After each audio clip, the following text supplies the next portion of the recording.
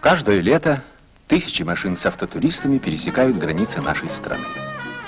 Но прежде чем отправиться дальше по избранному маршруту, все они проходят таможенный досмотр. Операция несложная и недолгая.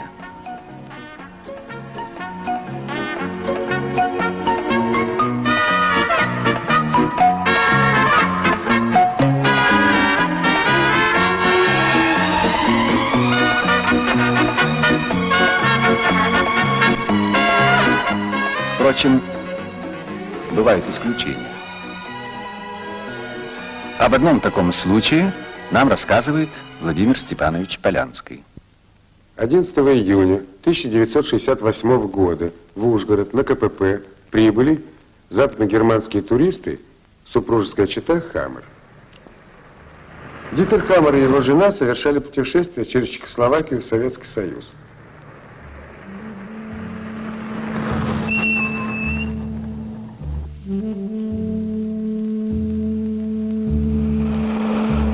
Нашей стране они собирались посетить Львов, Киев, Харьков, Ростов, Тбилиси, Сочи, Ялту, Одессу.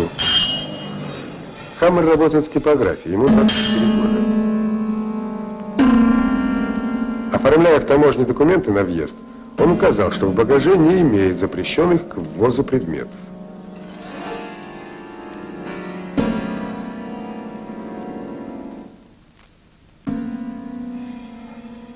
Однако при досмотре ручной клади в старом потрепанном чемодане была обнаружена идеологически вредная литература на русском и украинском языках.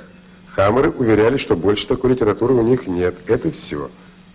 Но при дальнейшем досмотре из тайников, оборудованных в автомашине, как из рога изобилия посыпалась литература. Как заявили супруги Хаммер, они везли к нам запрещенную литературу, книги и журналы, чтобы распространять их среди советских людей.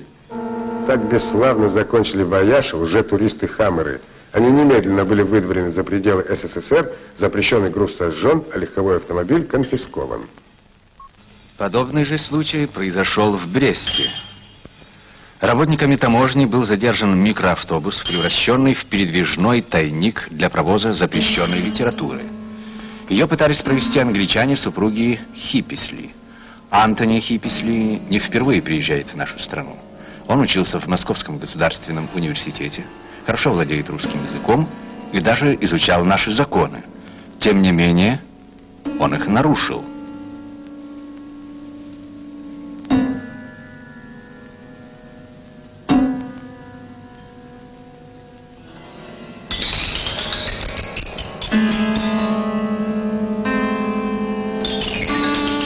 Хипписли заявил, что не занимается политикой.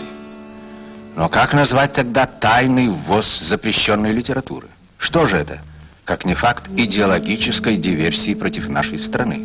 И какие побуждения руководили не политиком Хипписли, когда он взялся выполнить задания наших политических противников?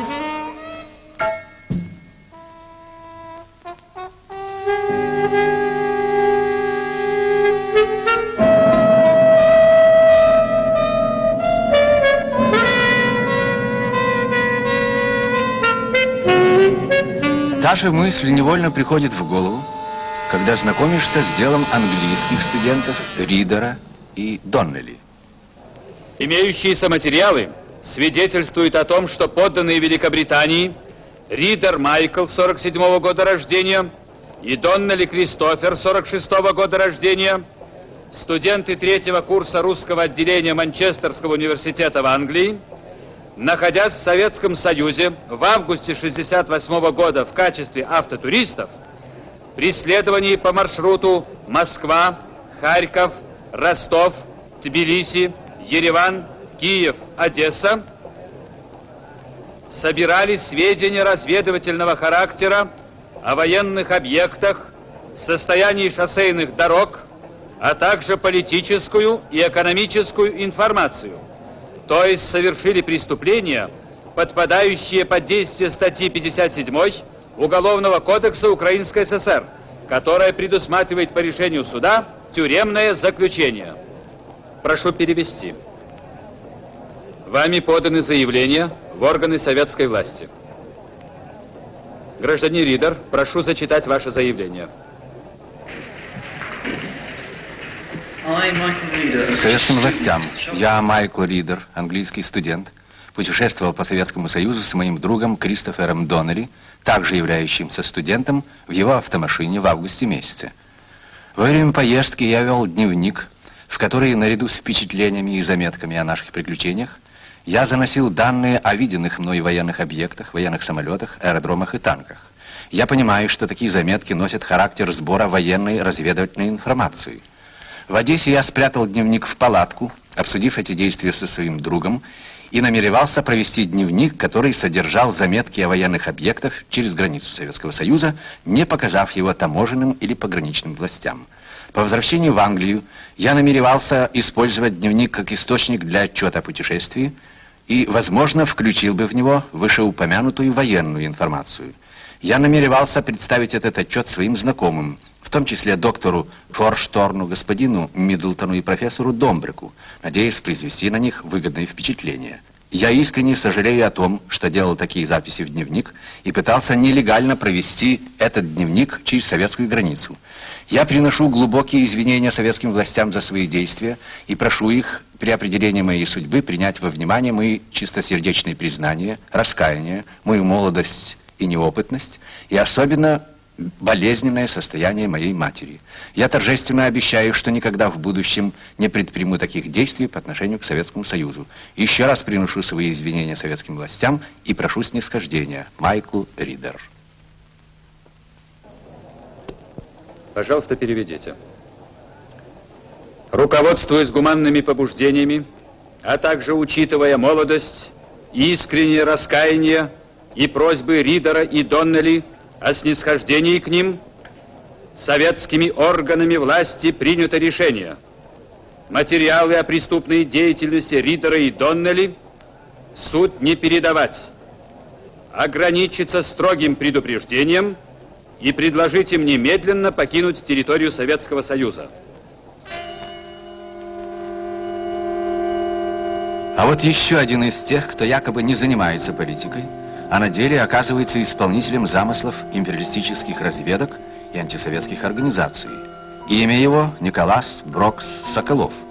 При аресте все отрицал, а в поясе привез антисоветские материалы, средства для их размножения и тайнописи. Позднее вы познакомитесь с ними. Оглашается обвинительное заключение. Обвинительное заключение по обвинению Брокса Соколова Николаса в преступлении, предусмотренном частью 1 статьи 70 Уголовного кодекса РСФСР. В декабре 1967 года органами Комитета государственной безопасности арестован при выполнении задания гражданин Венесуэлы Брок Соколов Николас. Предварительным следствием по делу установлено следующее.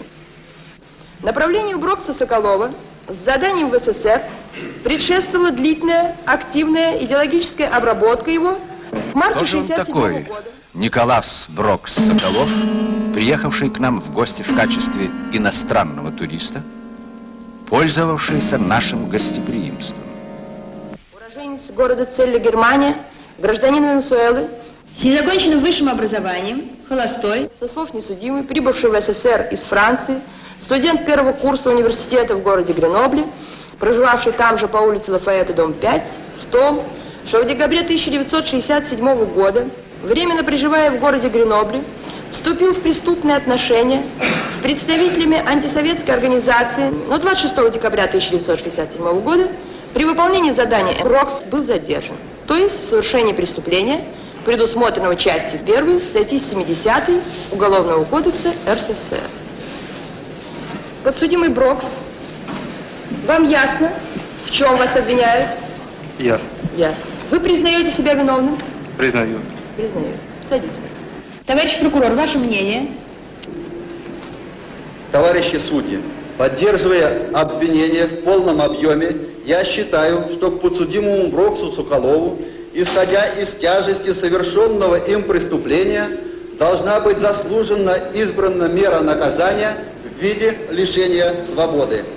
Виновность Брокса Соколова в совершении вмененного ему вину особо опасного государственного преступления, предусмотренного частью 1 статьи 70 Уголовного кодекса Российской Федерации, полностью доказано. Я прожил очень короткую жизнь. Можно сказать, только начинаю жизнь. Я успешно учился в Каракасе, и моей мечтой было получить высшее образование. Мне очень нравится электроника, и так как в университете в Каракасе такого отделения нет, то я поехал во Францию, чтобы продолжить там свое образование. Я был очень доволен университетом в Греновле. И все было бы очень хорошо, если НТС не стал бы мне на дороге. Господин адвокат правильно вам сказал, что я не знал советскую жизнь. Разве пресса не всегда правильно показывает советскую действительность? И когда меня пригласили на доклад Славинского, не зная советскую литературу и советскую жизнь, я не мог отличить ложь от правды. Тамара и Виктор после продолжили клеветать на советскую действительность. И все это привело к тому, что я дал согласие выполнить их поручение, думая, что этим самым я делал что-то хорошее. А вот и вещественные доказательства. Когда я увидел все то, что я привез в Москву, я понял, в какое грязное болото они меня втолкнули. Тогда я решил рассказать следственным органам все так, как произошло. Так, как я сегодня сделал на суде. Я также понял, что они могли толкнуть других, как я, подобное преступление. И с этим самым испортить их жизнь так, как они сделали со мной. Господа судьи, мы русские мигранты, но мы честные люди. Господа судьи, клянусь вам, клянусь во имя моих родителей, никогда ничего плохого не делать против Советского Союза. Если советское государство, советский народ и высокий советский суд просят мне мою тяжелую ошибку, и Советский Союз, ваша страна, я и мои родители, как русские люди, считаем ее тоже своей родиной. Я прошу вас, господа судьи, за мой легкомысленный поступок, простите меня. Именем Российской Советской Федеративной Социалистической Республики 10 июля 1968 года, город Москва. При избрании меры наказания судебная коллегия учла чистосердечное раскаяние Брока Соколова, его первую судимость и 20-летний возраст, а также то обстоятельство, что он был вовлечен в преступную деятельность лицами значительно старше его по возрасту, а поэтому нашла возможным назначить ему наказание в пределах срока нахождения его в предварительном заключении. Заседание окончено. Из-под стражи освободите. Есть люди, которые по молодости лет не ведают, что творят. Мы видели их, слышали их признания, их раскаяния. Но есть еще много молодых людей, отравленных буржуазной пропагандой, которые считают, что приезжая к нам, они привозят идеи свободы, демократии и культуры. Вот образчики этих даров. Как видите, выбор обширен, как говорится, на все вкусы и возрасты. Но цель одна – навязать советским людям свою идеологию, свою мораль, свой образ жизни. А что это такое, вы видите сами.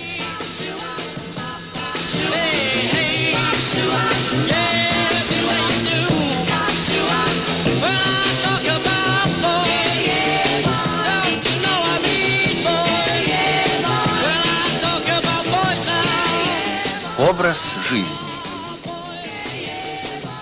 Его можно рассматривать по-разному.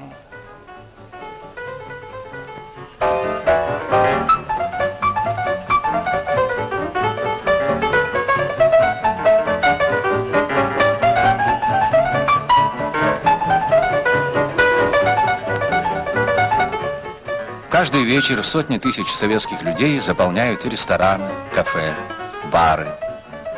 Они празднуют здесь свадьбы и дни рождения, отмечают успехи в труде и творчестве, встречаются с друзьями и, наконец, просто отдыхают.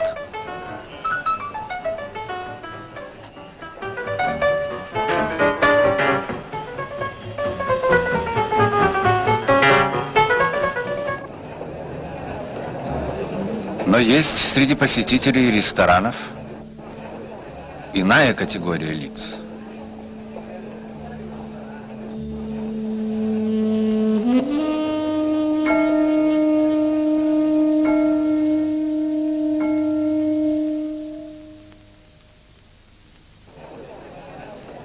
Их кличка – фарцовщики. Забыв о стыде и совести, они клянчат, скупают у приезжих иностранцев всякое тряпье, чтобы потом перепродавать его другим таким же поклонникам Запада. Вот урожай одного из них – рубашки, белье. Подумаешь, что за товар, скажете вы. Стоит ли за это наказывать? Да, конечно, это мелочь. Эти шариковые ручки.